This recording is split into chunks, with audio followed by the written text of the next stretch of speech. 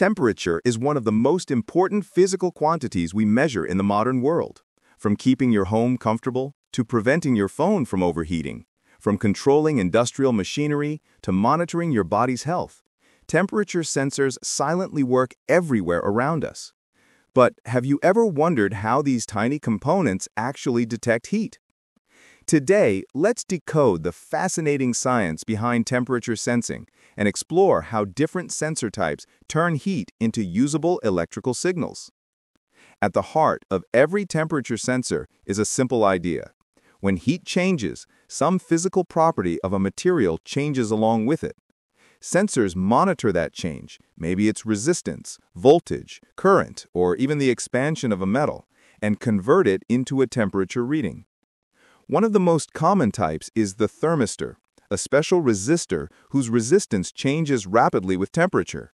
When it gets hotter, its resistance drops. When it cools, the resistance rises. This makes thermistors perfect for phones, chargers, batteries, and HVAC systems because they can react quickly and accurately. Then we have RTDs, resistance temperature detectors. These use pure metals like platinum whose resistance changes very predictably with temperature. They're incredibly accurate and stable, which is why industries like aerospace, medical equipment, and manufacturing rely on them. If you see the term PT100 or PT1000, it refers to platinum RTDs with specific resistance values at 0 degrees Celsius, a global standard for precision temperature monitoring. Another fascinating family is the thermocouple. These work on a completely different principle, the Seebeck effect. When you join two different metals and heat the junction, they generate a tiny voltage that corresponds to temperature. Thermocouples can survive extreme conditions, from deep cryogenic temperatures to over a thousand degrees Celsius, making them the go-to choice for furnaces, engines, and high-temperature industrial processes. Modern devices also use semiconductor temperature sensors, which output analog voltage, digital signals, or even calibrated temperature data.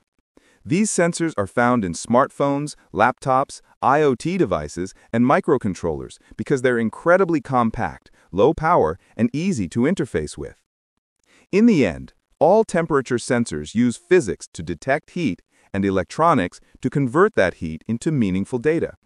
Whether it's keeping your CPU safe, adjusting your AC automatically, or ensuring factories run safely, temperature sensors are a perfect example of how science and engineering quietly shape our world.